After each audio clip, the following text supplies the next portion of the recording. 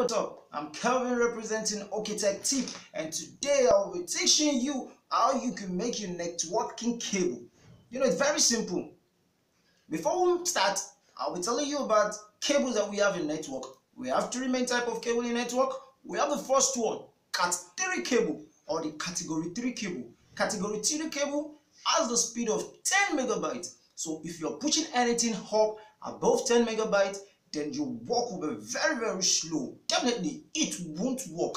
So we have the second one called the category 5 cable. Category 5 cable comes in two types we have a category 5 cable and when you buy the category 5 cable we have the second one called the category 5e the category 5e cable is better more better than the category 5 and category 5 cable has the speed of about 1 gigabyte one gigabyte.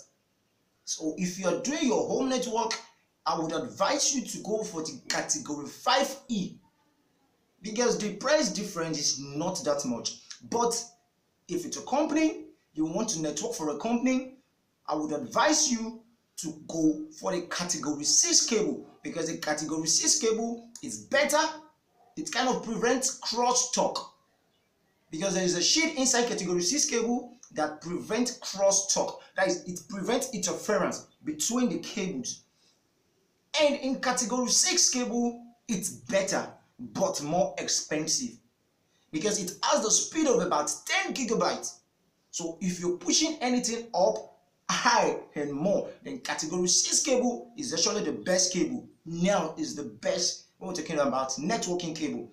So when we're talking about cabling again, there's another thing you would hear there is this cable even buy it in carton you will hear let's say a category 5e premium.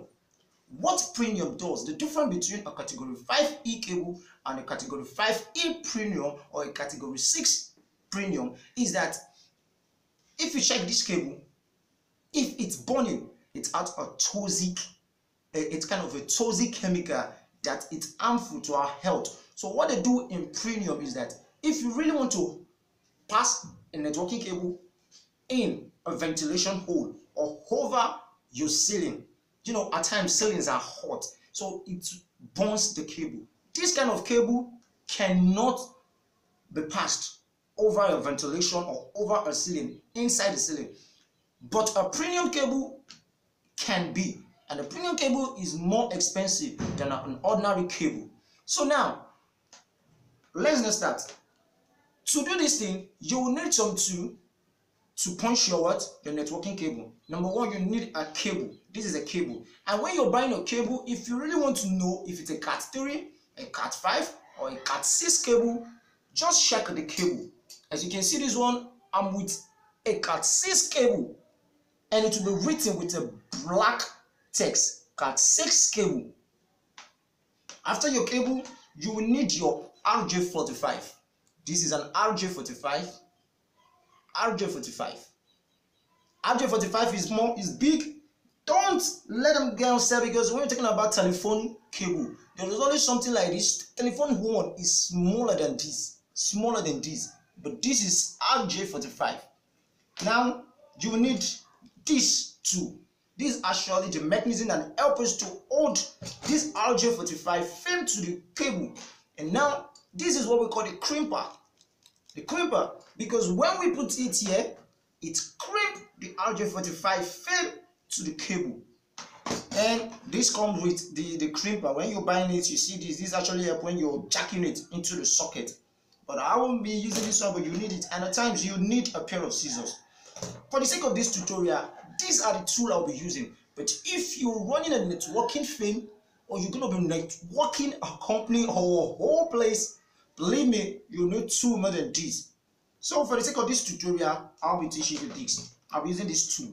Now, if you use our crimper, what we really want to do first is to measure where we really want the cable to stop. And when we are cutting the sheet off, the blue sheet off, you must make sure it don't it won't pass this place. Check here. Because there is a mechanism here and when we crimp it, this place will hold the cable frame here so you really don't want the blue cable to pass here so when you measuring it make sure the blue cable does not pass that place. So you put it you measure it and you hold here as you can see when you hold here i've given it a sign. In this our crimper we have two blade. This is the first blade down and this is the second blade inside when you want to cut off a whole wire you use this one. But when you want to trim across it you use this one. Let me show you what i mean. Let's assume i really want to cut off a point. I'll put it at the first place and watch what happens. When i cut when i cut it cuts the whole cable. That is what the first blade is used for. But if i really just want to trim the blue stuff without cutting the cables inside then let me measure it again this is where you want to get serious because you really don't want it to pass. If it pass this place there will be an interference from the outside to your network and it kind of a very it will be very tedious for you to be able to move data out and to download data into your network. So you make sure it and now this is it. So you use the cable inside and you you roll your cable over it. Now bend your cable. Bend your cable. Look at it. As you see unlike when we use the first blade it cut off everything inside. But this one will just cut off the blue shade. We don't need this. Now when we're talking about cabling what you again you will hear is what we call a twisted pair cable. As you can see we have the first cable we have two cable we have three we have four. Let me cut this off. Before i tell you about cable. In network in networking category 6 cable has this leather inside. What this prevent is crosstalk so that there is not going to be interference within the cable inside. As you can see they are all in different parts divided using this stuff. So you use the scissors so we won't mess up our cable. You use the scissors and cut this off. As you can see now what this is used for is if you want to drag down like you just want to cut more wire you can drag that stuff down and you cut it off based on what you see. Now as i was saying i was talking about twisted pair cable. If you see this you know you see that they are all twisted. We have four twisted pairs one twisted two twisted three twisted four twisted. Now unloose it untwist it. If you untwist it we'll be having eight wires because four different cable twisted. If you're losing it it will give us eight.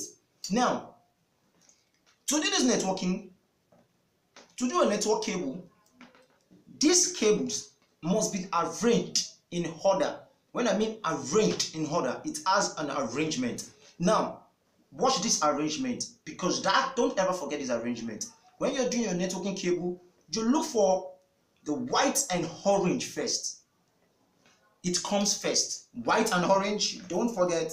White and orange first then orange second. When i mean white and orange it's a white cable with orange stripe over it. Now white and orange stripe then orange. Then white and green stripe. White and green stripe blue. As you see white and orange orange white and green blue. Then white and blue then green. Make sure you straighten it up. Make sure you straighten it up so the color won't scatter then you go white and brown then brown. Straighten it up. Straighten it up. You just want to straighten so you you won't mess up you don't mess it up. So make sure you cross check them again. White and orange orange. We have the white and green blue. We have the white and blue green. We have the white and brown and the brown. Straighten it up so you won't mix the arrangement. Now as you can see some of the wire are longer than others. Don't worry.